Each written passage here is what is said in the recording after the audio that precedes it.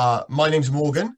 Hello, and uh, yeah, my name's Tom. Yeah, this is Tom, and we're we're we've been sort of matched together with the the adult befriending project.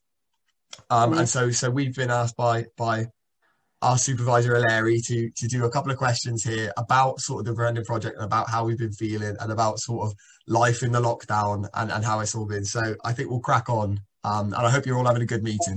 That's all. Um, so so Tom, uh, are you enjoying these sessions? And and well, I hope you are. yeah. and and sort of more specifically, would you say the Befriending projects helped with feelings of loneliness and isolation during the lockdown? Yeah. Yeah. No, fair dues, because it can yeah, get a bit. Lockdown doesn't make me, mm, making me so um, tired. I'm Yeah. tired of the lockdown. Yeah. No, I so, this- I am the same, mate. I am. It is. It is just exhausting, isn't it? And every time it's sort of extended, it's just like ah, just a bit more.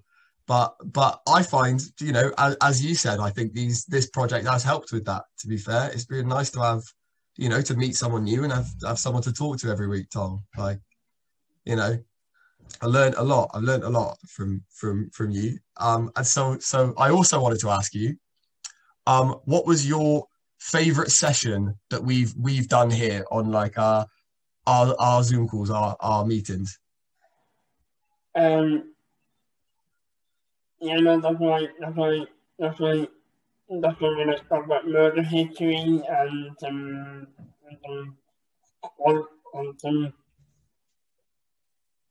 um, um, all the murder history. Yeah, the murder issue. Oh, I Yeah. completely agree. They were, they were, they was my favorite as well. No, I loved it. I loved it. I like the one done by um, you know, the new. Do you remember the people from New Zealand? And it was the the cake, the chocolate cake that was poisoned. That was my favorite one. That was my favorite one.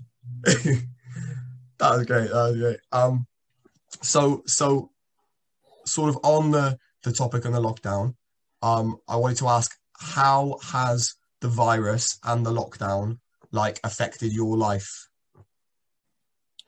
Yeah, or even I like playing and playing on the game well.